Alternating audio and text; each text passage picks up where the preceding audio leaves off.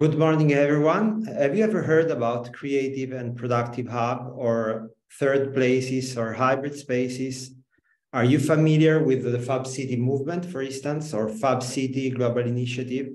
If not, and if you would like to learn more, this is the right uh, space for you, the right events. I'm Francesco. This is Fab City Hub Voices podcast. Fab City Hub Voices is a series of webinars in which you can learn about uh, how to activate such creative spaces or creative hubs, and also about the challenges that are involved into activating these spaces. But especially you can learn how this uh, space of innovation can unlock a potential for positive impact in the local ecosystem. So this program is produced by Volumes. Volumes is a creative studio based in Paris uh, with a long experience in uh, creating, uh, running, and supporting the emergence of new creative hubs in Europe and soon in the world. Uh, this initiative of the podcast is part of the, a project called CENTRINNO, a European project, uh, a part of the H2020 program, in which Volume is supporting uh, nine Fab City hubs in Europe in nine different cities, the first of which recently opened its door a few months ago in Paris. So Fab City Hub Paris is the first Fab City Hub of the world, but we have eight more coming. Um, and uh, the one we are presenting today is uh, from Blönduós. And before I go on with uh, the presentation, I want to introduce our main guest today, Ragnheiður, who is speaking from Blönduós, how Raga, how are you? Uh, Hello. How is the fine. weather? How is the uh, weather uh, in Blönduós? It's good right now. Yeah. okay. Quiet. Great. Thanks for being with us. So Raka uh, has a background in education and uh, art and craft. She's an expert in textile and uh, weaving techniques. Mm. And as I said, she's speaking from Blönduós, specifically the textile lab, in which uh, she teach uh, and she's an expert of a machine, a specific machine that we'll discover during the presentation today called, if I'm not wrong, TC2 Loom. Is this correct? Yeah. Okay, great. Yeah. Great. And um, yeah, and also um, uh, we have uh, with us today Carlotta, of course.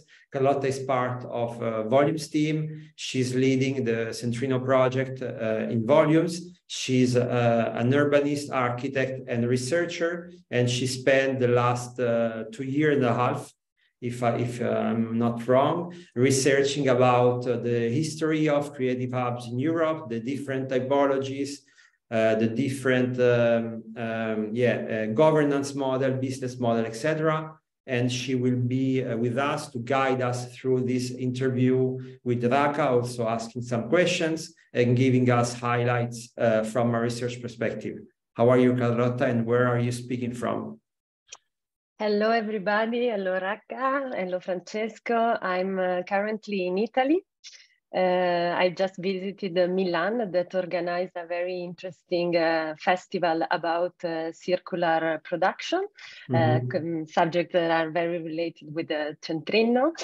Um, and I will be here with you, with Raka, and listening about uh, the progress that the Fab City Hub in Blönduós are doing. And I will taking care also of the your question.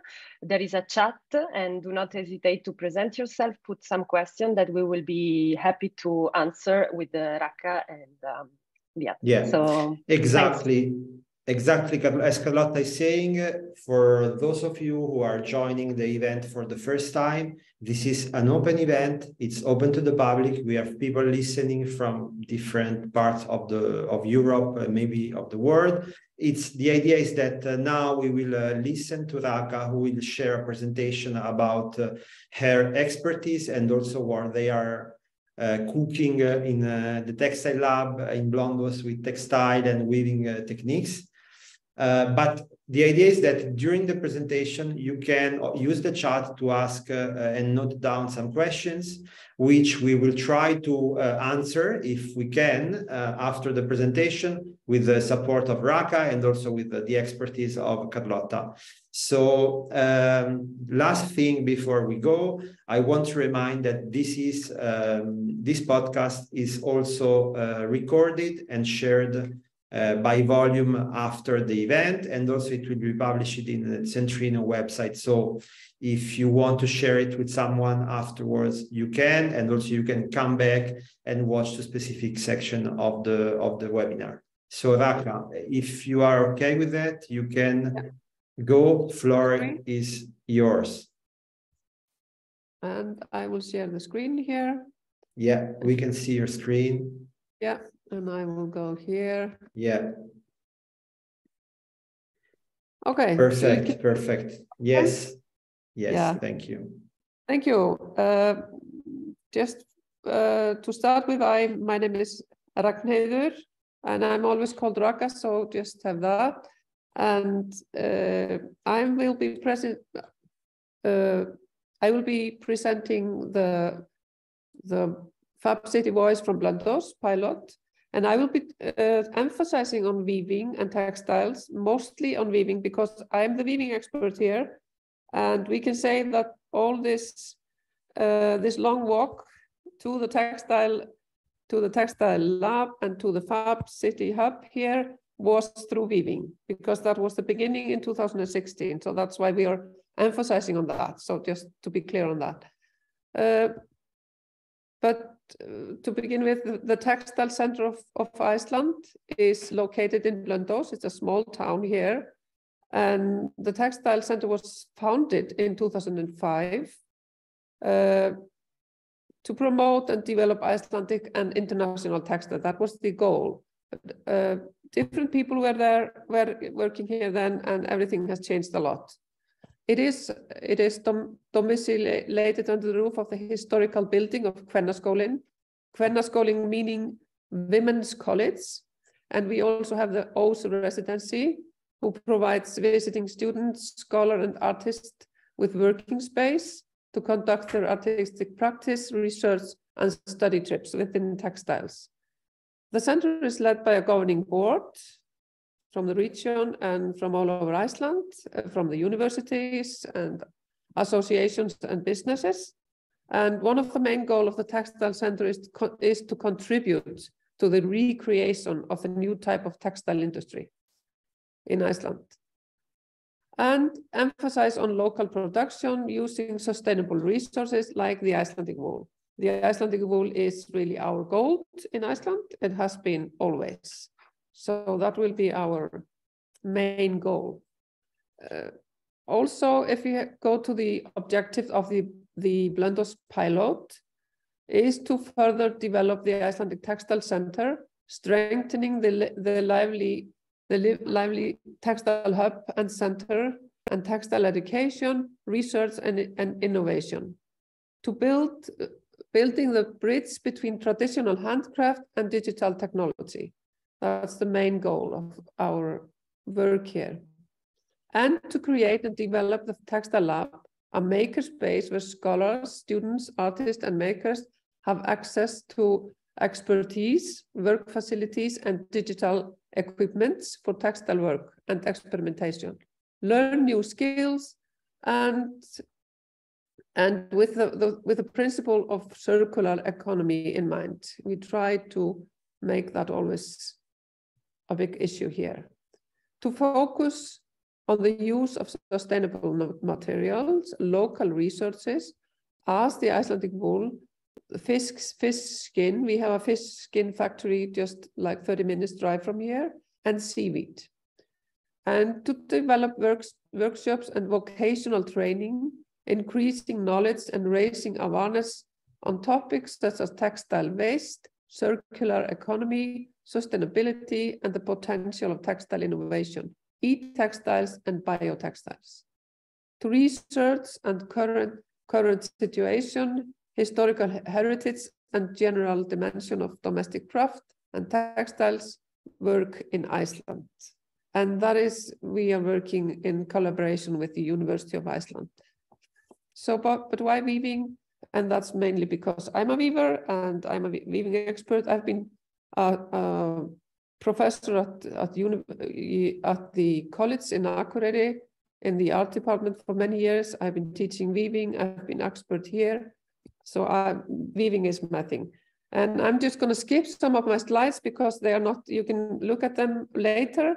And this is just something that I put in here because I thought it was very important. Because weaving used to be one of the one of the most important thing all over the place, everywhere in the world, because we had to have we had to make our own fabric so we could dress.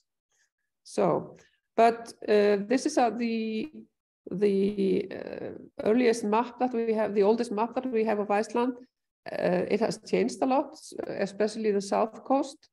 And this is how people saw Iceland when they came here around 874 to 900. So, and I'm going to I'm going to be very quick going through the four state four states of weaving in Iceland, because for 900 years we used the warp weighted loom from 900 to to it was very important to 1650 then fishery came in and knitting and uh, but we were using the warp weighted loom up to around 1800 which was much more much longer than everywhere else in europe and then came this entrepreneur the icelandic guy in 1751 he started the first uh, he, he started the first industry in Iceland, if we could, could call it that. And he imported to Iceland cloth looms, horizontal looms, and spinning wheels. So it was the first stage of industry. And then in 1900 to 1990, we had big, big weaving and spinning factories in two places in, in Iceland. So we had one in near Reykjavik and one in Akureyri, where I, where I live. And we produced a lot of things for for export, mostly to to USA and and uh, former Soviet Union, and then in 1990 the whole industry of textile collapsed in Europe, not just in Iceland but everywhere, because the Soviet Union collapsed. So then we had this gap, no factory, nothing produced in Iceland. Then we there was established two knitting factories in Iceland. One is in the south and one is in the north. So near here to Blönduós. So we are we are producing knitted fabric. And then in 2016, I started to work at the textile center, uh, 2015, 16, something like that. And then the textile center in Blönduós bought the first TC2 loom to Iceland. TC2 stands for thread control. So it's computerized loom, uh, very, very uh, technology. Uh, well, the, you can do almost everything in TC2 loom because you you control each and every thread of the loom. So that's the beginning of the fourth states, and that's our uh, that's our vision in the future to see some changes in the weaving uh, in the production of weaving in Iceland. And I hope we will make it. I don't know. And just very quick, go through this history. This is the, the spindle that was used, and this is the fleece, uh, the Icelandic gold, if we can call it call it that. We sometimes use use the frame. Wool is the gold, or wool is the similar to gold in Iceland, because that's we would not have survived in this country if we wouldn't have the sheep and the wool because of the cold here, the cold climate, we had to knit and weave all our clothes and everything comes from this wonderful sheep. And because the Icelandic wool from the sheep is very special, it has two sets of layers. It has something that is called thel, that's very soft, it can be almost like silk. And then we have the tog that is, it's very hard, harsh and more uh, it's itchy when you when you wear it. So these two layers were always separated in the old days and they were spun separately. But nowadays they are spun together. That's why Icelandic lopi or wool for knitting is so itchy because we are not working the wool as we used to do. We're not, we're not separating the wool, except in one factory in Iceland, the spinnery. Here you can see all these wonderful colors of the fleece.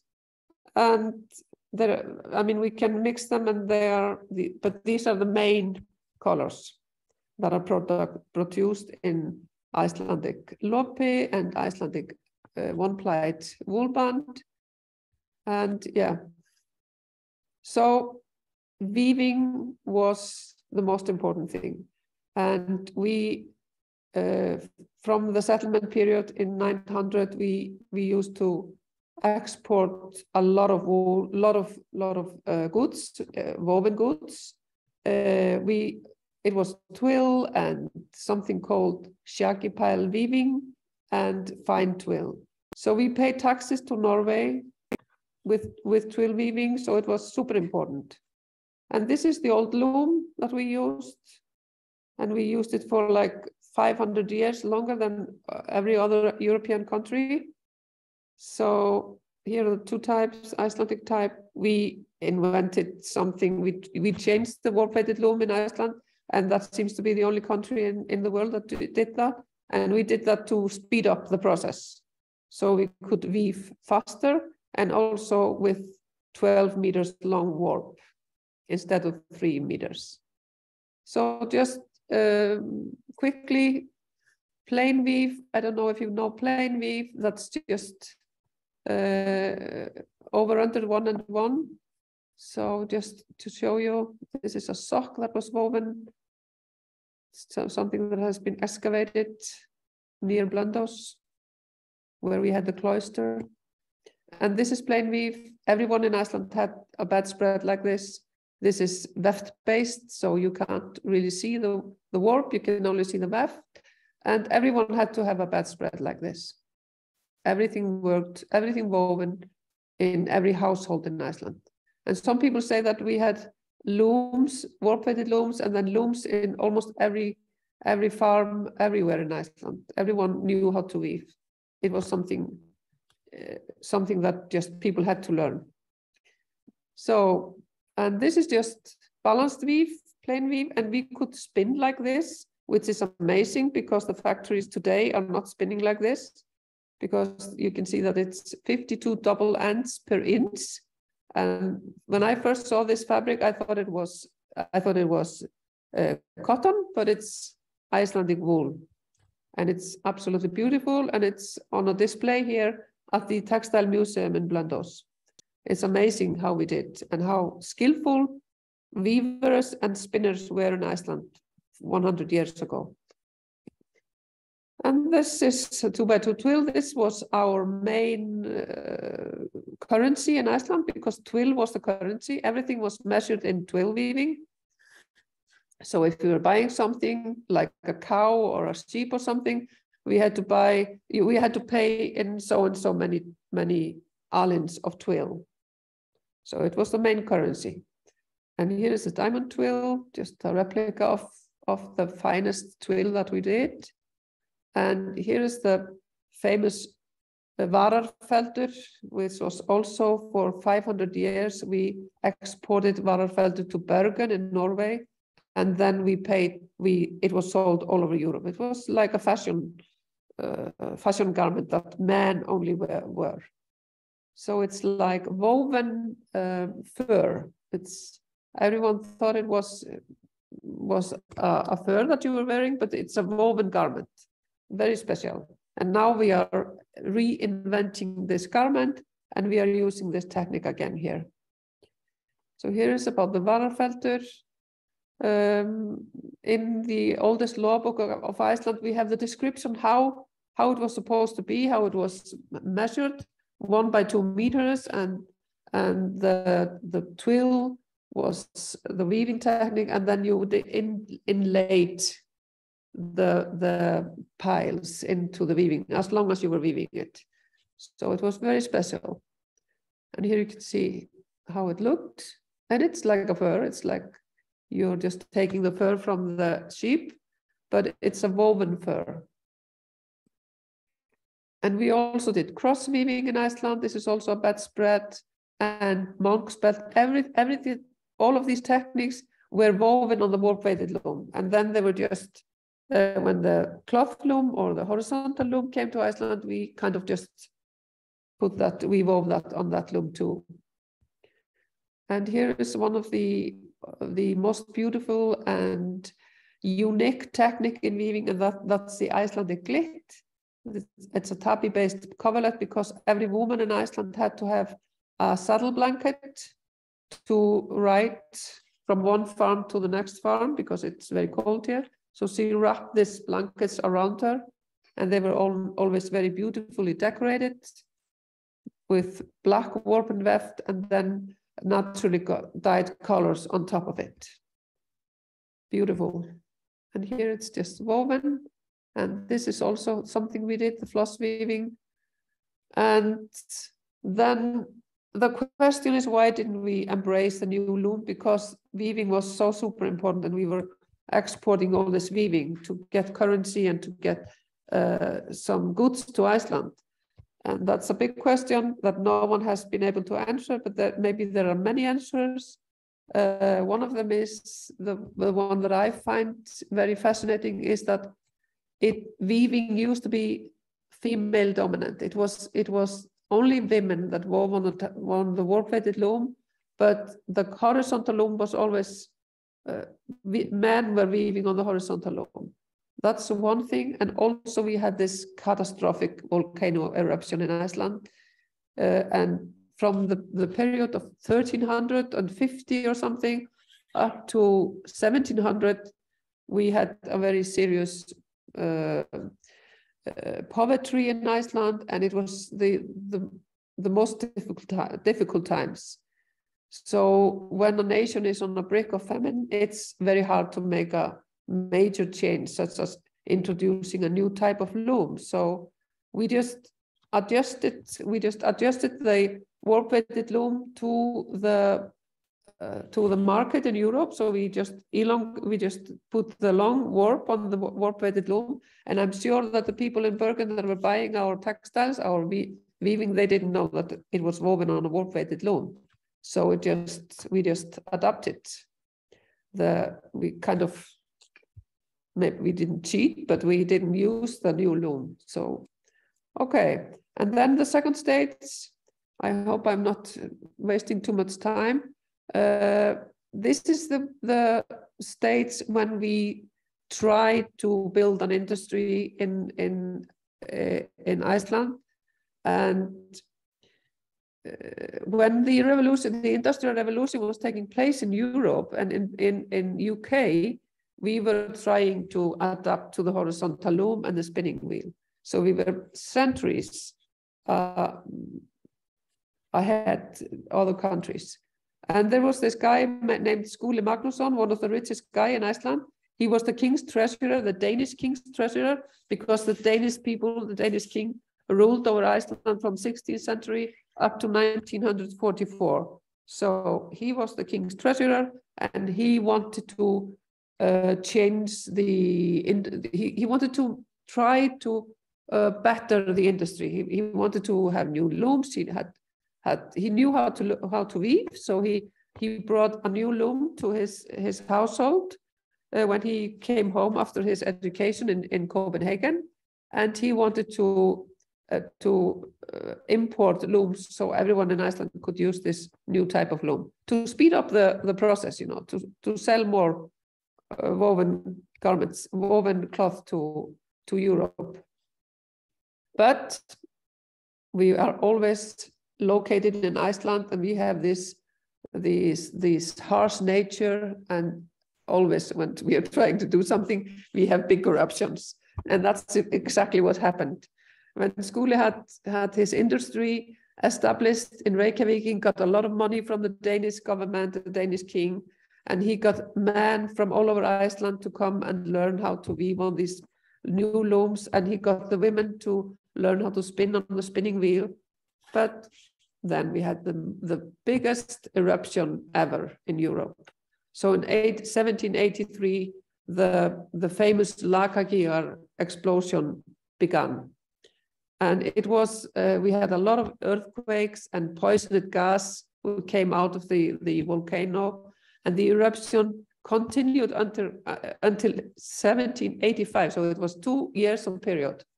And it was it is still considered one of the greatest volcano eruption in the world. So the whole catastrophic that followed was named in Icelandic Móðuharðindin. It's the mist hardship because there was like mist over the country for years. So it was everything, the crop and everything died. Ash and poisoned gases blocked the sun, killed crops, suffocated both people and cattle. So 25% of the percent of the Icelandic population died, and many of them just moved to to Denmark or or to US and Canada. So they were just immigrants. They fled the country, and 75% of the country's livestock died. So it was very difficult period.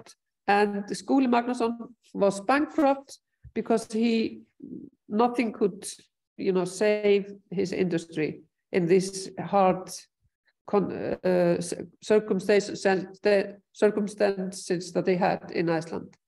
So the devastating eruption is considered one of the main reasons why the new enterprise did not succeed. They were running it until 1801, but then finally it, it was closed down.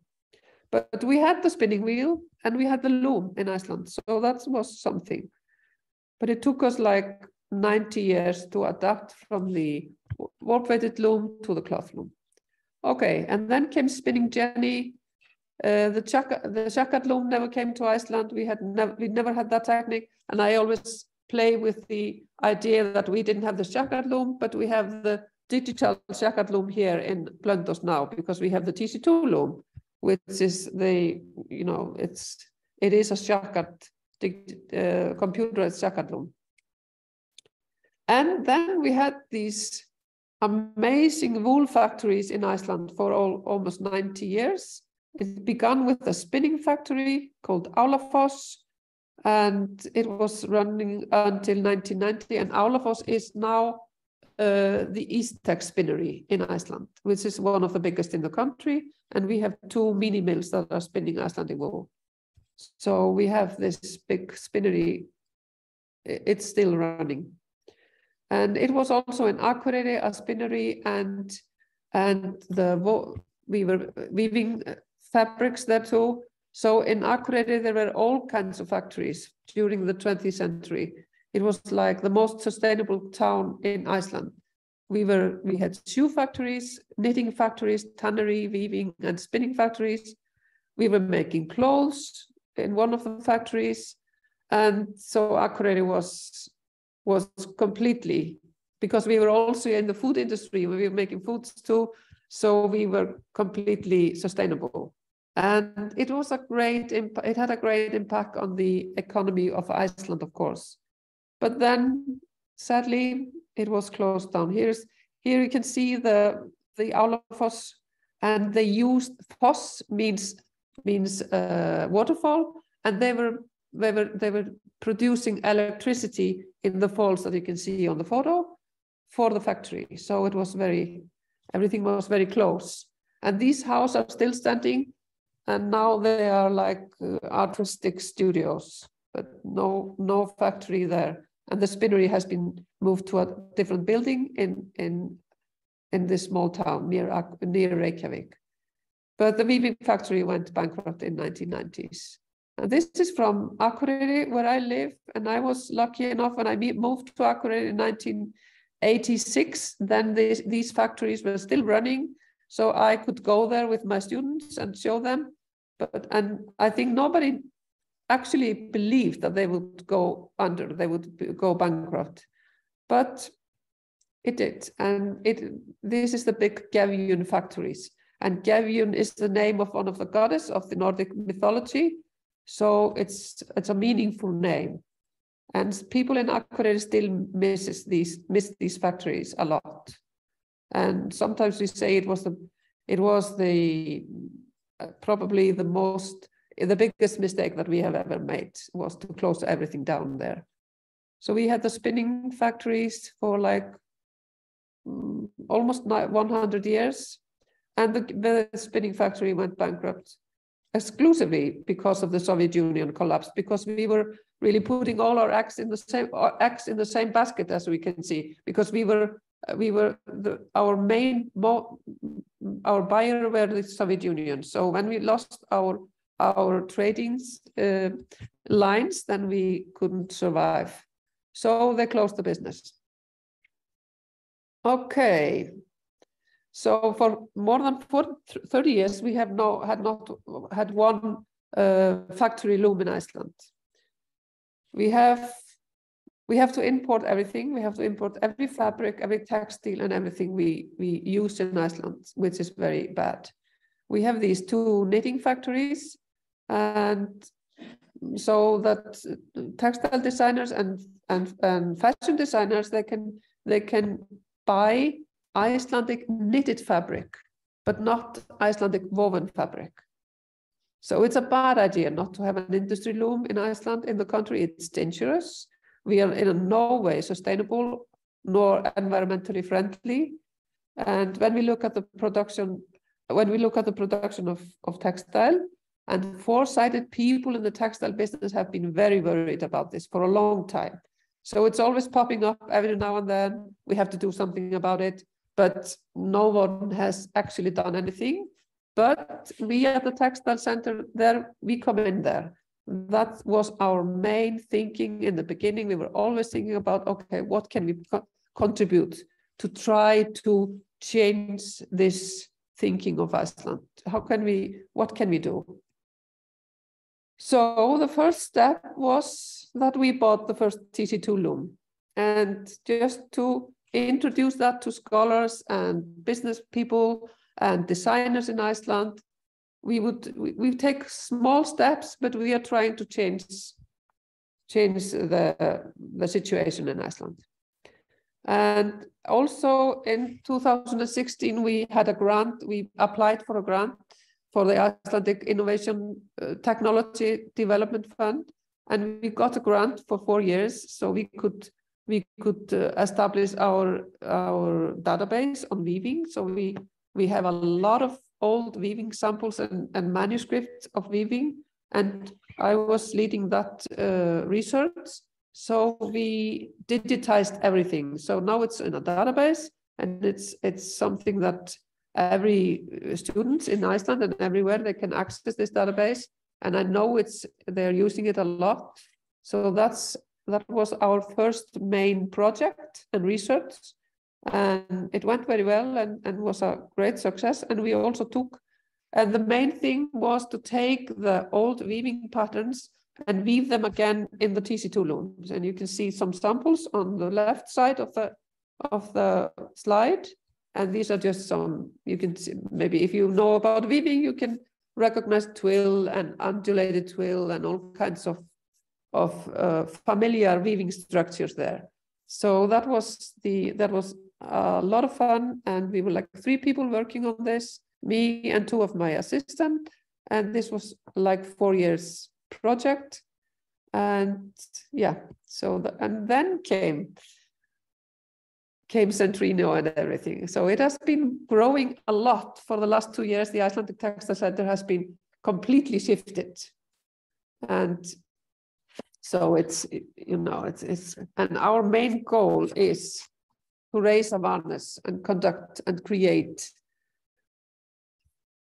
Uh, I can't see the word there, and create a space for knowledge and marketplace but we are, of course, we are not going to have factory here, that's for sure. But we are going to try to to uh, have some impact on the society and the the educational system in Iceland, so we can start to think about that we can do something about this. And so we have, so we designers and inventor are interested in building this weaving Oh my God, I can't see this. In, in weaving industry, Icelandic wool. Yes, we so we are using Icelandic wool for fabric upholster. We we want to make these things in Iceland because we have to do it. We can't just import everything and not export any weaving. We have to have a balance between import and export in the whole economic system of Iceland, of course. And within the framework of CENTRINNO, the Textile Lab was created and opened like one and a half year ago in May 2021. The first of the kind in Iceland, and we there's no TC2 loom anywhere else in Iceland also. So it's I was hoping in 2016 that universities and school would buy TC2 looms, but they have not done that yet. So they come here with their students and we are teaching them how to weave on the TC2 loom. So yeah, we have two TC2 looms. We have a felt loom, laser cutter, laser printer, digital, digital embroidery machine, and digital knitting machine. We are on the right path toward the change in the field of textile, and, and we can see it. It is happening. For myself, I, I feel it's, it's, it, is, it is going very slow, but you know, if I look at the uh, six or seven years period that I've been here, I can see a huge amount of changing has been taking place. And especially with the lab, which is completely uh, something that I had some vision about, but I never thought it would happen in my, you know, when I was working here. So here you can see just something, some place, it's a big lab. We have we our newest machine is the knitting machine, a big machine that we are still learning how to use. Here you can see our two TC2 looms and and the felt loom is maybe the thing that is it's it's very easy to learn how to use the felt loom. So that's so that's the machine that people local people here are using. The children mm-hmm. from the schools and it's it's very easy.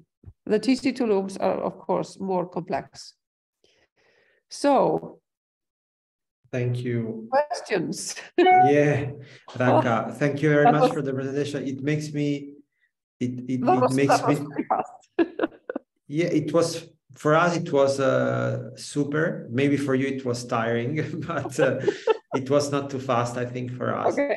Um, yeah. it may, I was saying that uh, this presentation makes me wanting uh, come back to to the lab soon. so I hope I will have the occasion. Uh, I just want to, uh, for the audience, to be precise that you are speaking today from the textile lab itself. This is one of the room now. This is more the the office space, and then you have uh, on your left, I think, is the machines. The machines, right? Uh, the the room with the machines is in the, the other room, right? Yeah, the room, yeah, the rooms with machines are on my left. Yeah, side. yeah, yeah, yeah, yeah. Two yeah, yeah. extra rooms there and yeah. here we sometimes we have the digital uh, embroidery machine here, but now mm -hmm. it's mm-hmm. right there. So this is okay. an open. It's yeah. like a studio here. Yeah. It's very Great. messy and everything. Yeah, it's it's a lab, so yeah, it's, it's a somehow it's somehow messy. Yeah. Um, some seaweed is lying around here everywhere because they're doing yeah. some seaweed. Yeah. Yeah, by the way, also for the audience, uh, um, in some of the hubs, we used to talk about uh, clean rooms and dirty rooms, which yeah. I don't know if it's the case for you, but uh, we have this in Paris. Yeah. The clean room is where the dirty room is where you do the production and you can have uh, a lot of uh, dirty pieces of uh, material and then yeah, that's you, what I have now. Yeah. Yeah, exactly. And then you have the, the clean room when you do the finishings, maybe the paintings in, in case of wood, etc. Uh, so we have uh, we will taking a question. Carlotta has already prepared a, a, a series, more series of questions that are more focused on the research we are conducting in CENTRINNO, but I'm not seeing a lot of questions from the audience. So I want to insist to everyone that uh, feel free to please ask your questions. There is no stupid there is no stupid questions. Even the most basic one, the most concrete one are welcome because I, rem I, I remind you that the idea of these webinars are to share um, experience from the ground of people that are uh, activating and have uh, are dealing with daily challenge of managing the space and uh, putting them together to run and to work. So feel free to use the chat or the question and answer in Zoom to ask the question. Maybe Carlotta, you get, yeah. There's one here from Rachel. Yeah, yeah. go for it. Go for it. And she is asking me why, uh, why not a factory? is significant local fab fabrication out of our source, or is it, or in other words, is the Fab Lab concept of a city that product what the consume?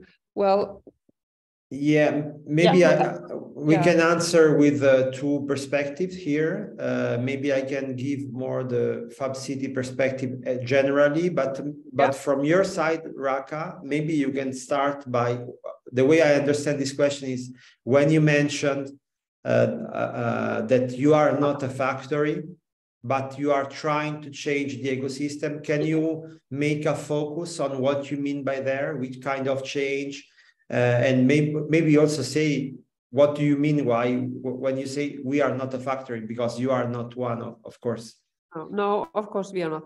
Uh, we, I mean, to have a factory, to to build and to to to um, to have to establish a factory in Iceland for the weaving industry costs a lot of money because unfortunately we did not keep any loom in Iceland. So they were all exported or they were just they were just taken apart and they are not they can't be used anymore. So we would have to start from zero. We would have to start by to buy uh, all these equipments that we need for factory to, to have a weaving factory and the spinning factory that has to be alongside.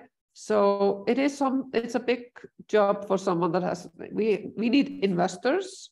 We need people from the textile industry. So i have for many years i have been in contact with the people within in the knitting business trying to persuade them okay why don't you add weaving machines to this to your factory? But up till now it has always been no we can't do that because it has everything went bankrupt. I think people are still so much remembering how terrible it was when everything was closed down because in my hometown 2000 people lost their jobs you know. So so it's like it was like a nightmare because everyone went out of work. So we are still in the process to uh, remembering the old days and trying to forget that and establish a new thinking in Iceland. And there is a paradigm shift. We can we can feel it that people are in the first uh, for the first uh, maybe five years. People, everyone that I spoke to said no, no possibility. We have to import it. We can't produce woven tech, woven textiles in Iceland anymore. We we have tried it and it, we failed. But now people are yes, maybe we can get. There are new kinds of uh, looms that you can buy and the people the, the market is changing we don't have to produce so much we can produce quality fabric quality um, uh, upholster quality blankets and we don't have to produce you know the mass production is what we would like to not to have here we would like to have a small production of a a quality fabric that we can sell expensively to people that want to buy it. So, and also for for Icelandic designers to use. So it it is changing, and I hope that people will, because the government is not going to do it. We have to have some investors. We have to have people that are have money, and are going to invest in this and believe in this industry. So Yeah. that's that's what we are doing. We are just trying to plant the seeds, you know, everywhere. Mhm.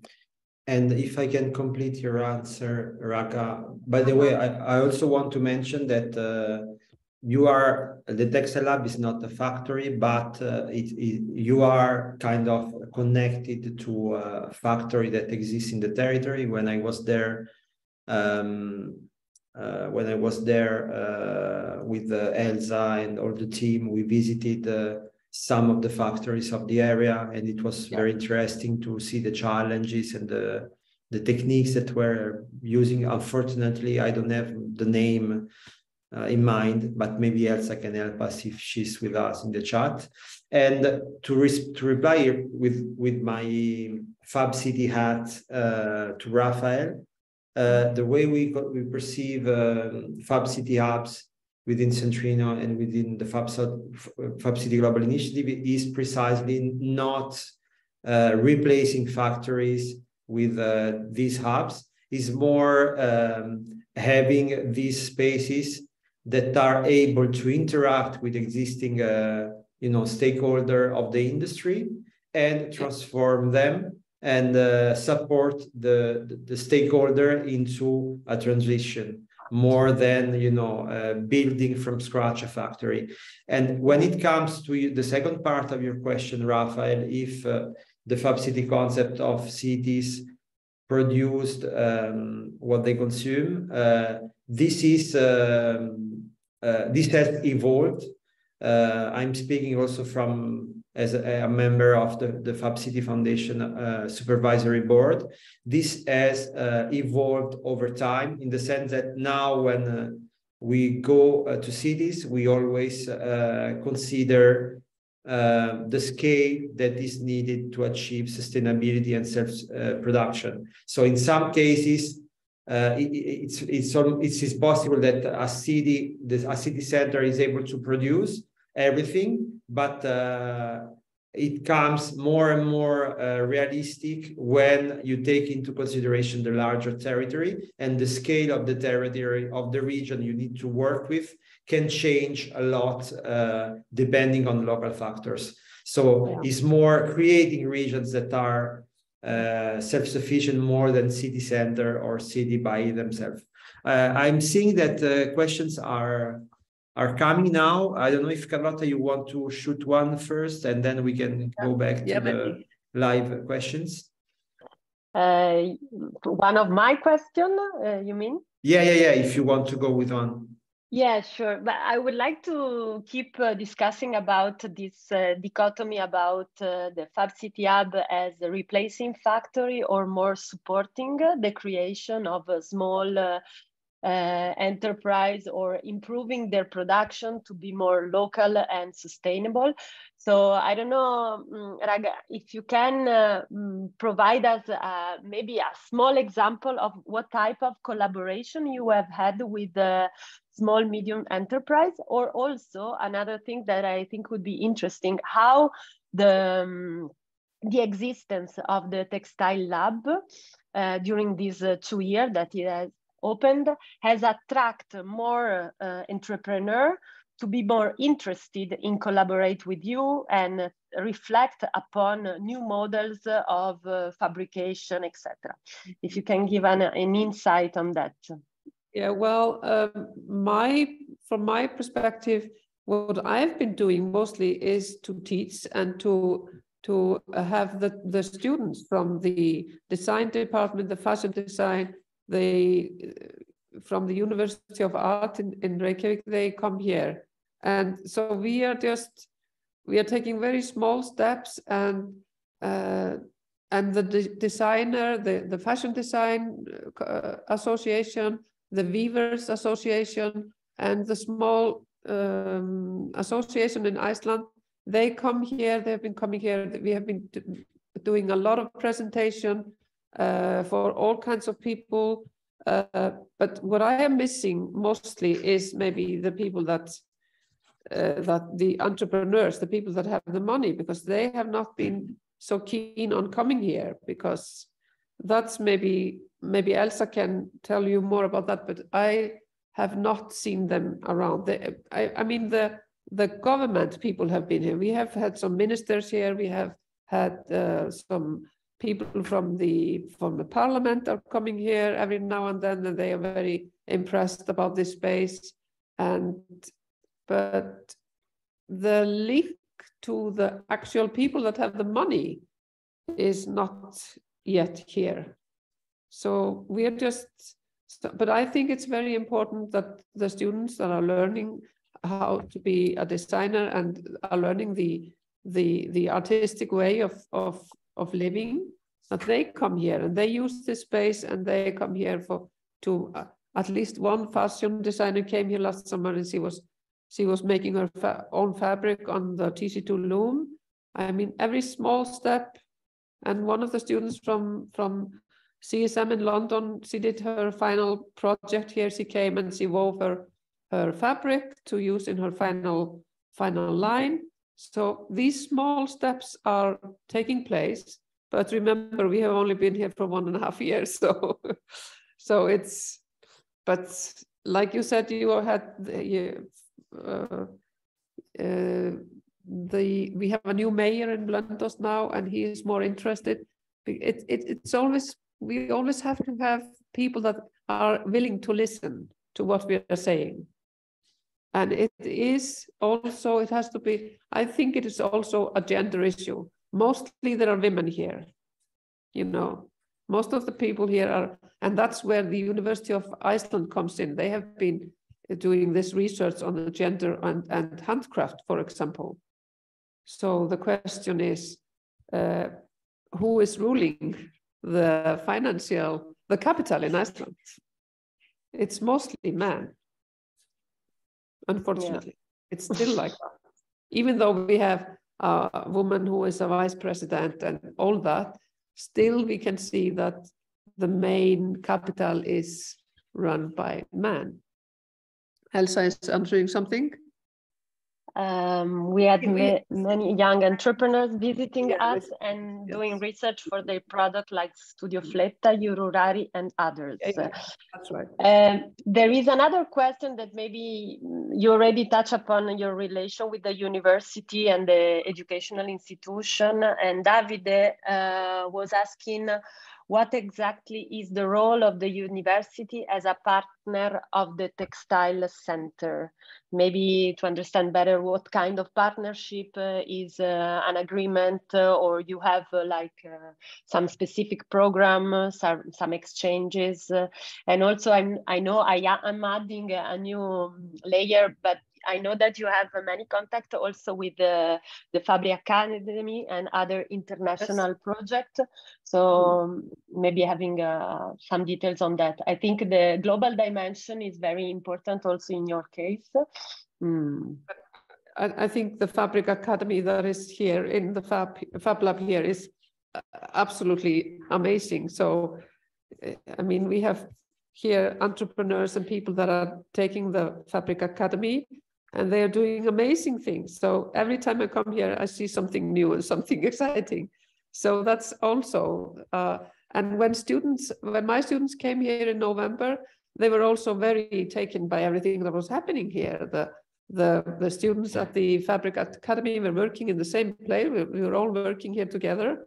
So they were sharing skills and sharing uh, ideas and everything. So we have to, of course, we have to start in the educational system. So we have, we are in collaboration with the University of Art, with the Art School of Reykjavik and the University of Iceland.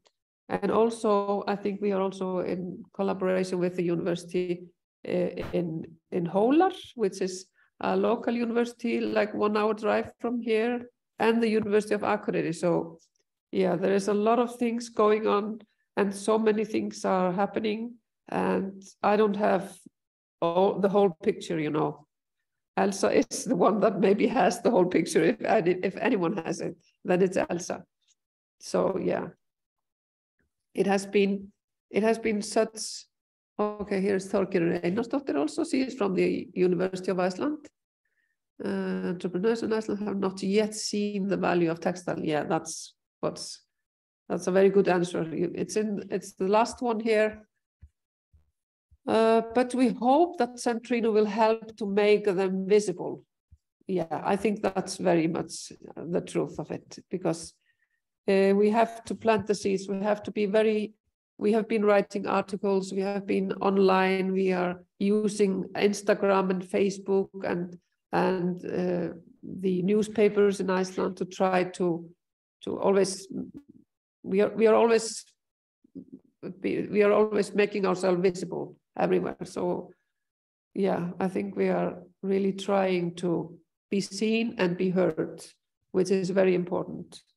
And the more people that come with us into it, the, the more success we will have, I think, as a whole. Okay. And it's very important. Um, we should almost close the webinar, but I have a very, very direct question. Um, have you been approached but by some other uh, organization, not SME nor uh, uh, entrepreneur, but some others that would like to replicate the textile lab elsewhere in Iceland? Like, uh, okay, how have you done? We would like to replicate it in another area of Iceland. Yeah, because I am I am in the Teachers Association in Iceland and also in the Textile uh, Guild of Iceland. And the textile people in Reykjavik are always asking, why don't we have textile lab in Reykjavik, for example? So people are they are envious because we have this lab here, and uh, hopefully they will have textile lab also in Reykjavik and maybe in in Akureyri too, because we have this uh, we have university and two colleges in Akureyri, and we have a textile department there. And in 2012, uh, we were planning a textile lab in Akureyri, but it never came to uh, function. It's all it's the the lab that the fab lab is there, but there is no textile lab. So I think that when people see the lab here in, in Blönduós, they want to replicate it in other places in, in Iceland. So yes, but it costs money. So yeah. You yeah, that's that's why the the sustainability and the business model behind those hubs is uh, one of the main uh, topic that are being now discussed uh, within CENTRINNO. And we are, um, by the way, publishing um, a GitBook uh, with a sort of uh, guide and toolkit to for those of uh, other cities that want to try to start a similar concept. Uh, uh-huh. So we, we hope that what we are doing in CENTRINNO maybe will help also uh, what you are doing in Iceland. And uh, of course, uh, it's it's normal that Reykjavik want to have the same the same lab. I mean, I understand the dynamics of you know the the city, the capital that look what happening in Northern Iceland. Mm-hmm. But also, I mean, the context is also very different. The textile lab there would be, I think, very different from from yours uh, in any case, what we preach a lot in volumes when we are reached out by, by uh, promoters or real estate operator that want to run hubs, the first thing we do is to explain that uh, this is not something you you take from one place, you put it in another place, and uh, it works like magic because there is a strong community component that you need to build. So in your case, for instance, without the expertise you have, the connection with the local ecosystem, the university, the lab would be a, an empty box. No, so this is a very important point. Unfortunately, we need to close the webinar. Raka, thank you very much for being with us. Uh, thank and you for inviting me. Uh, it's uh, you. You were a perfect guest. Uh, I just want to close uh, saying, re reminding everyone that this webinar has been recorded, is being recorded right now, and will be available uh, on the CENTRINNO website. And if you want to follow uh, all the news and upcoming uh, documents and report that we are producing, you can subscribe to social media of CENTRINNO, and of course also social media of Volumes, in which we regularly produce and uh, distribute the knowledge that we are uh, producing. So thank you, everyone. Thank you, Carlotta, uh, for your questions and your guidance. And uh, see you uh, in Blönduós soon, hopefully, and see you with the audience for the next uh, edition of the Fab City Voices.